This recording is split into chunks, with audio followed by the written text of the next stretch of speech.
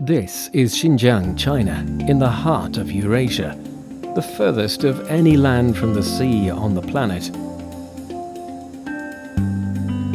With little rain, it is an arid and lifeless place.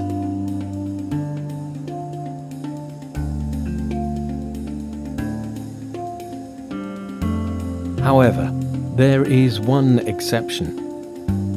With warmer temperatures in April, apricot flowers can't wait to bloom. Declaring open the flower season in the Ili Kazakh Autonomous Prefecture.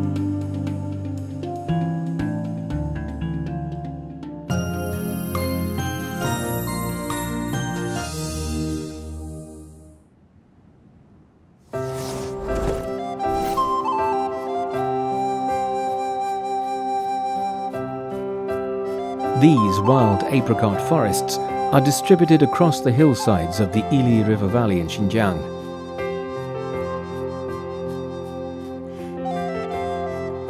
Their delicate flowers dislike the humid climate of southern China.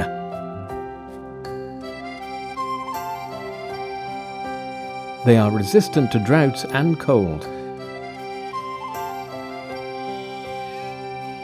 and are more suitable for living in the north.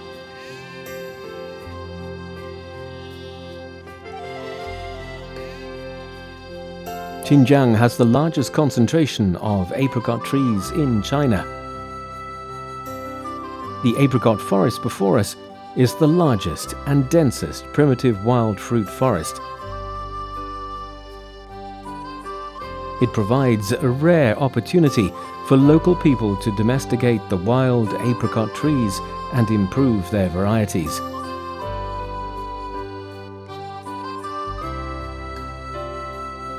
Apricot blossoms last only a week from blossoming to withering.